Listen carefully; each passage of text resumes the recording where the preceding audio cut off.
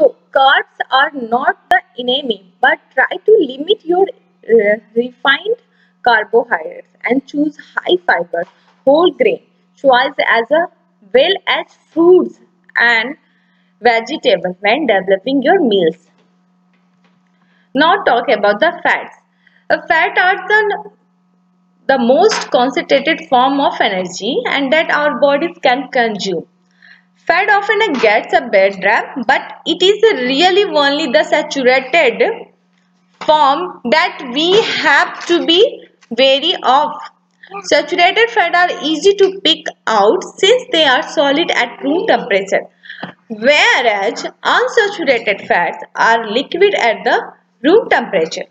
But saturated fats are commonly found in dairy, egg, meat, while unsaturated fat mainly come in the form of oils. So what is the goal? Aim to use healthy fat like olive and grapeseed oil instead of butter and margarine when cooked. So these oils also make excellent addressing and marinade just to make sure that to overdo it though since fat contain more than twice as a many calories per gram than the protein and other carbohydrate. So you have to goal just you make your fat in a, your include your diets. That means equal to your all whole healthy nutrients. So if you talk about the carbohydrate that is a 4 calories per gram. If you talk equal to the protein that 4 calories per gram. If you talk about the fat that is 9 calories per gram. So you have to decide you have to aim which calorie what calorie is required in your body for the proper growth.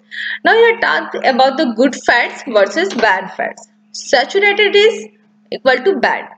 Animal origin and soil at room temperature. Unsaturated that is good that is plant origin and liquid at the room temperature.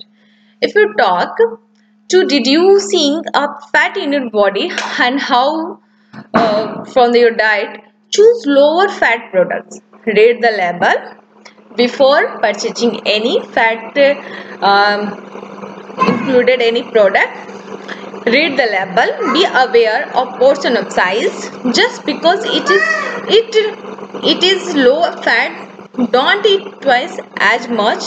Trim visible fat. Careful non-visible fat cannot be removed like chips and donuts. So remove the skin from the poultry. Avoid add on fats. Less spread like butter, sauce, creamy and So it can be used like uh, reducing the fat from your diet. Now talk about the vitamins. Vitamins are very essential for the living organism and that are a living compound that we need to ensure a healthy mind and body. They allow us to actually use, use energy given to us through the consumption of protein, carbohydrate and fats. A healthy diet will provide all type of 30 essential vitamins through a variety of food.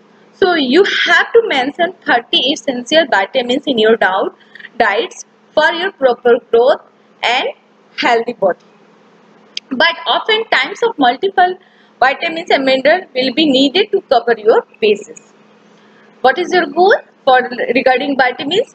If, we, if every meal consists of a lean protein, vegetable and a choice of fruits, whole grains and healthy fats, then you can feel confident that you have met your quota for the day. Now come minerals. Minerals are also very essential for the improving your body part and body organ. So it is a non-living compound and it assists in many bodily functions such as tissue repair, growth, regulation of body fluids. For example, minerals, calcium, potassium, iron and zinc. These are the very essential for your making good uh, transportation, tissue repair, even bone, especially for the making the strong bone. What is the goal about the minerals? That found in an era of foods and just like a vitamin, they are best absorbed through whole and well-rounded diets. So it should be your responsible to include minerals in your diet. Now come the fibers. Fiber is a type of complex carbohydrate that your body cannot digest easily. So, fiber supplies no energy. Fiber source includes the leaf, stem, roots and seed, covering of fruits, vegetables and grain. If you talk about the example, the whole grain, breads and cereals. If the skin of fresh fruit, raw vegetables, nuts and seeds. They are all are containing fibers. The fibers help you avoid intestinal problem and might be reduce your chance of developing some form of cancer. It is involved to make it strong your stomach. Adds bulk to pieces of pieces of facility elimination. So there are two type of fibers. One is soluble fiber, second is insoluble fiber.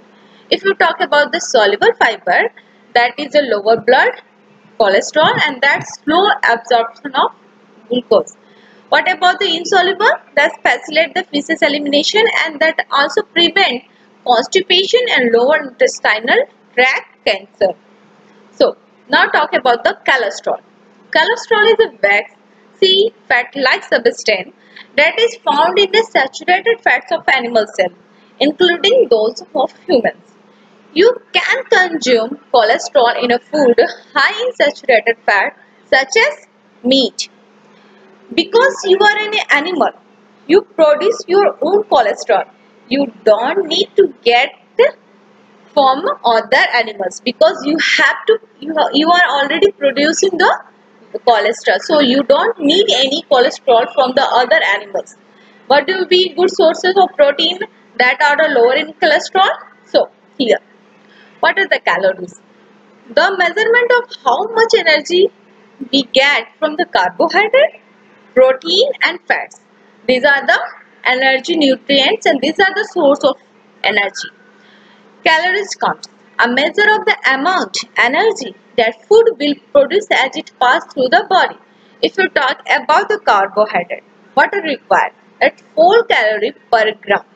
If you talk the protein, that is 4 calories per gram. If you talk the fat, 9 calories per gram. Alcohol, that is a 7 calories per gram. That gram is multiplied with your body weight and that it is equal to your body weight for the proper growth and maintain your proper health. If you talk the macronutrients, that nutrient we need in relatively large amount. So that will be known as, as a macronutrients such as carbohydrate, proteins and fats. If you talk about the micronutrients, that means your body requires little amount of nutrients like vitamins and minerals. The most important of breakfast, you need to breakfast, the fast and the last time you ate was 8 to 12 hours ago because why you need the breakfast because you uh, last time you ate was 8 to 12 hours. So it provides the body with the energy for a day. So you need that is a in a whole day. a breakfast is a very important. It provides the energy for working for the performance for the whole day. This allow your body to not be as a hungry later on in the day. It will prevent you from being itchy. How to read? How to read a food food label? One check the serving size, second calorie, third percentage, get less of that nutrient, get more in this nutrients. Why should I read food labels? Because of labor rust and rise, presentation of the nutrient content. So you have to take nutrient compound, nutrient food, nutritional, which compound, which uh, molecules that are nourish your body. So we have to take such a food and we have to read a food label.